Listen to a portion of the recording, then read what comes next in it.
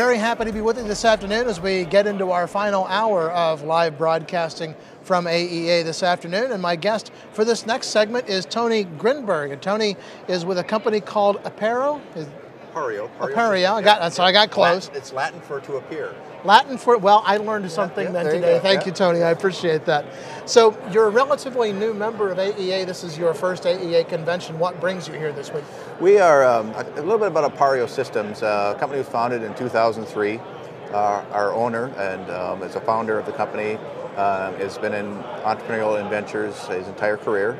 Uh, this is his fourth technology company, and um, we are an avionics um, manufacturer, design and manufacturing firm, as well as we have tools and avi- or products in the agricultural market with new innovation. And so we're here um, to continue to um, advance um, our division in aviation with the products we currently have, but more so to brand Appareo as a company in the avionics field. Uh, products that we really can't talk about today are in development will be um, coming out next year at AEA. So we're here. This is our second year, and we're here to kind of get a feel for you know you know how people you know approach doing business with avionics shops and um, like customers. And so it's been a great show for us. My first, even though it's our second. So I've learned a lot. Great. But you do have a couple of products we want to talk about. First of all, your Vision 1000 uh, flight data management uh, and monitoring uh, product. Tell us a little bit about that and what it does for the cockpit. Yeah, that's a, um, a product that went into development in 2006 in a partnership with Eurocopter out of Marignane, France. And the purpose of the uh, product was to develop a very low cost, lightweight flight data monitoring device with video and audio. And that product um, was launched into their uh, products in uh, Marignane manufacturing facility in France in 2009 on three of their specific aircraft. And so what the device does is captures the audio and the video of actions on the instrument panel behind the pilot and the co-pilot, and then it brings that into a 3D visualization with a s- a SD card into a computer, and it tracks real-time movement of the aircraft. Uh, it's used for liability tool if a, in case of an accident, there's you determine what happened by following the gauges, or you have to see what what you know happened with the aircraft in flight. Uh, it also is used in training. Uh, we have our devices in two training schools in the United States. It's a great tool as a private pilot. You know, 25 some years ago. To have that tool today Oh, sure. after a flight lesson would be valuable to come back in and plug it into a computer and see exactly what you did right, what you did wrong, and where you could improve. So that product has been on the market now for a number of years, and uh, we're, we're an OEM supplier to Airbus. Uh, Eurocopter changed its name here last year to Airbus Mm-hmm. Right. Helicopters, and so that product is continuing to make way in, in, in the OEM side as well as the aftermarket with uh, current rotorcraft around the globe. Do you have any anybody lined up yet that you can talk about beyond the Airbus product? Uh, that continues to grow, that market, and uh, some recent events that have happened at creating more, more awareness about flight data monitoring systems. And so we expect um, you know, the growth to continue there. FAA just announced a couple weeks ago that flight data monitoring devices are going to be required on all air ambulance helicopters in the United States in the next four years. Uh, our device qualifies as one of those um, options for customers, so that'll continue to be a growth area for us. And then uh, two years ago, we started a partnership with ForeFlight, one of the leading um, companies in electronic flight bags, ba- Right. based in Texas, and Sporty's Pilot Shop. We developed the Stratus uh, portable ADS band device that overlays weather and traffic on the iPad with ForeFlight usage. Okay. And that product um, has been on the market now a couple years and continues to go very well. Uh, Do you talk a little bit more about that product in, in detail? If it, it overlays on the iPad, is it a Bluetooth compatible product? It's Wi-Fi. It brings in Wi-Fi? Wi-Fi compatibility to um, to the ForeFlight through the iPad use, Right. and it allows for multiple devices as well. Uh, the, the second generation uh, Stratus has a backup AHRS, Mm-hmm. and so you can run your iPhone, if you will, and uh, download the free app, and you can have a backup attitude indicator as well as the iPad Mini or the iPad where you're running traffic and weather with your ForeFlight. So it's, a, it's kind of a valuable tool. I want to come back to the, the Vision 1000 for just a moment. And is that a, a product that uh, a flight school could use for fixed wing aircraft?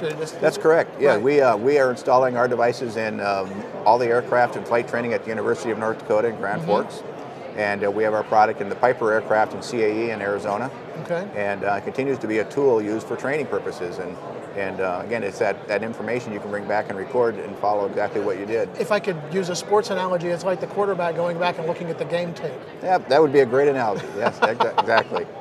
I want to talk with you a little bit because, and, and, we've been discussing this with a lot of our guests here these last couple of days, because the, the Part 23 rewrite has been a big issue uh, and, and, a big topic of conversation, I think, as we move through this certification process. How do you see that affecting the kinds of products that Appareo brings to the market? Well, you know, it's an interesting question. You know, I, I, serve on the General Aviation Manufacturers Board representing Appareo, mm-hmm. and I've been very in tune with the, a lot of discussions about the, the complexity, the process, the um, uh, Region A in the country approaches things different than Region 2, and you know, um, in, in, presentations Secretary Huerta has shared with us, you know, and the FAA administrator, um, it um, it's a slow process. You know, I think there will be some movement to make things a little better, mm-hmm. but I mm-hmm. think from being a realist, um, you know, it's going to it's not going to be a 180 degree change. But you know, I think the challenges the FAA has with changes in you know retirements and personnel,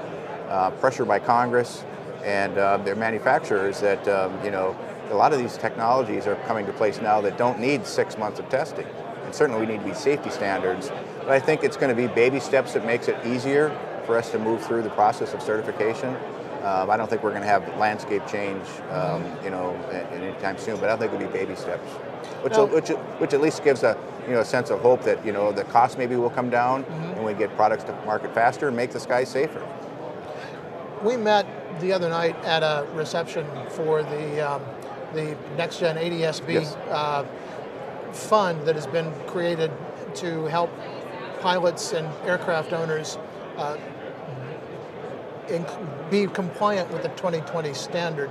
Talk to us a little bit about that and your involvement with it and, and how you see that particular issue uh, from the standpoint of a company that creates an ADSB compliant product. Yeah, I mean, I, I think, you know, what I think competitive, the competitive landscape in avionics and the time horizon, another six years, you know, I think there's just under 200,000 aircraft in the United States in the general aviation field, mm-hmm. and somewhere around 160,000 of those aircraft are the old dial, round dial aircraft. You know, very very few glass aircraft in the you know in the current fleet across the nation, and I think you know the products are going to come in the next couple years, and the price points um, will be what I think pilots and aircraft owners benefit by by waiting to some point, maybe 2017, 2018. Uh, this fund that we met at this you know reception will provide the financing tools, as I understand it, for those aircraft owners to uh, borrow the money to um, install those devices at very low interest rates. And you know, there's been reports that these systems could be up to five figures. Uh, I don't think it's going to be that like competitive competitive pressure and the competitive landscape. I think the products are going to be more in that three to five thousand dollar range to be ADSB compliant for guys like me who fly a Piper Warrior 2 1979 vintage. Right. Um, not fifty thousand.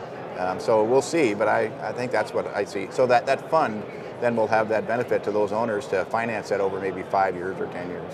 The, and there is a great deal of concern for people, perhaps like yourself, who think that their ADSB equipment might be worth more than the airplane that put it in. I'm fortunate to be part of a club, so we can spread that cost over a number of us. But the individual owners, yeah, that's mm-hmm. you know, price is going to matter.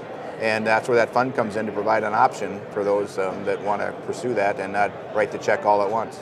Well, great. Well, Tony, thanks very much for taking some time. We are out of time right now, but we'll look forward to seeing you next year Absolutely. when you've got some, some things up on the big board at the new product introductions. We'll look forward we'll to seeing there. what those are, and uh, I'm sure we'll have you back on and we'll talk about Super. those. Great. Aero TV's coverage of the 57th Annual AEA International Convention and Trade Show, live from Nashville, Tennessee, is brought to you in part by the following sponsors.